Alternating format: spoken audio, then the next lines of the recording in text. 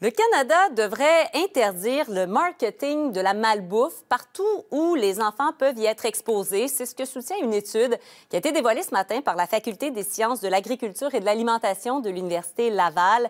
Benoît Lamarche est professeur à cette faculté, directeur du Centre Nutrice de l'Université Laval. Bonjour, Monsieur Lamarche. Bonjour. Sur quoi vous vous appuyez pour en arriver à cette conclusion?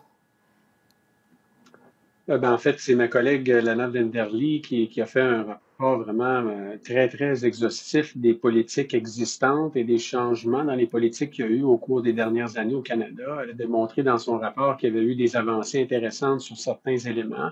À travers les dernières années, on a un nouveau guide alimentaire qui vise justement à améliorer l'alimentation de la population.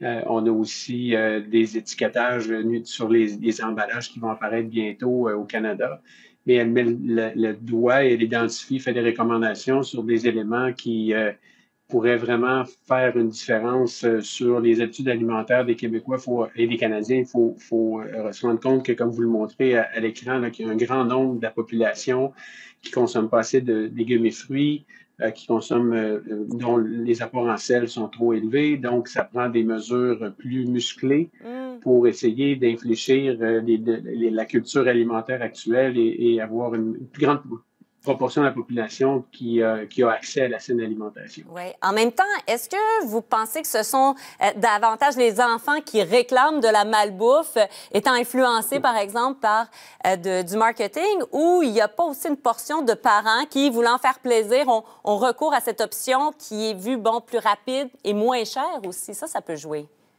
Oui, bien là, dans, votre, dans votre énoncé, il y a à peu près tout ce qui, qui est important. C'est ça, c'est que les enfants, d'une part, sont pas conscients de, de l'exposition à la publicité. Au Canada, on a quand même, euh, euh, au Québec, en fait, on a des, des, une loi qui limite la publicité euh, aux enfants. Donc, c'est déjà un, pas, mais il reste qu'il y a des... Les enfants sont quand même exposés à toutes sortes de choses au, au à l'extérieur de cette loi-là. Donc, il y a, un effet sournois de la publicité vers les enfants qui ne sont pas conscients qu'il y a une différence entre l'émission et la publicité qu'ils sont en train de regarder, mm-hmm. d'une part. Euh, vous avez parlé du coût. Euh, évidemment, ce qu'on appelle la malbouffe, donc les aliments souvent ultra transformés, qui pourraient représenter jusqu'à 40 à 50% des calories qu'on consomme au Canada en moyenne, c'est énorme. Euh, ben, c'est omniprésent, ça coûte moins cher, c'est facile à consommer, c'est prêt.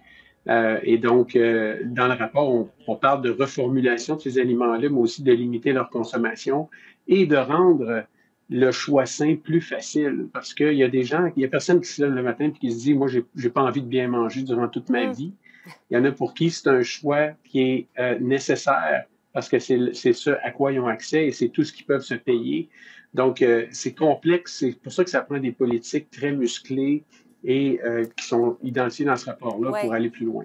Mais en même temps, quand on parle d'une taxe sur les boissons sucrées, euh, est-ce que l'éducation ne vaut pas euh, encore une taxe, surtout en contexte d'inflation? Est-ce que ce ne serait pas préférable que ce qui est bon pour la santé coûte moins cher plutôt que le contraire?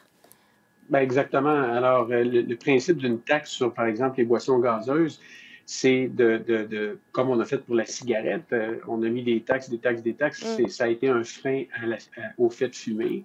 Donc, l'idée, c'est de, c'est une option qui a été démontrée ailleurs dans d'autres pays qui faisait diminuer la consommation des boissons gazeuses, qui pouvait même réduire les taux de, surpoids et d'obésité dans certains pays. C'est pas la seule mesure. Ça, ça, fait partie d'un, d'un tout, ça, qu'on doit considérer. Surtout si les, les taxes qui sont prélevées sur ces aliments-là peuvent être réinvestis au bon endroit pour aider les gens qui ont de la difficulté à bien manger, pas parce qu'ils souhaitent pas bien manger, mais parce qu'ils n'ont pas accès à la saine alimentation, que ça coûte trop cher, etc., ou qui n'ont pas l'expertise culinaire pour se faire à manger. Mm. Donc, si on réinvestit ça, euh, on réinvestit ces montants-là aux bons endroits, bien, on, a, on a un effet qui est à double coût. Bien, vous parlez justement d'un meilleur financement pour les programmes d'alimentation euh, scolaire, donc l'alimentation dans, dans les écoles, avec les enfants qui mangent dans les classes, dans bien des cas, euh, l'absence dans les écoles de, de bonnes vieilles cafétérias, comme euh, on l'a connu certains d'entre nous. Est-ce que tout ça joue aussi, a un impact? Oui, absolument. Puis le, dans le rapport, c'est une des politiques euh, qui est identifiée comme étant ayant un potentiel vraiment important pour améliorer l'alimentation de la population, des programmes d'alimentation au milieu scolaire. Mm. Il y a une grande proportion de la population qui, qui est en insécurité alimentaire, c'est-à-dire qu'ils n'ont pas les moyens de s'alimenter de façon saine. Alors, quand ces enfants-là arrivent à l'école, ils n'ont pas plus les moyens de, de, bien s'alimenter. Donc, des programmes en milieu scolaire peuvent aider euh, à, résoudre ce, fléau-là, cette, cette épidémie-là.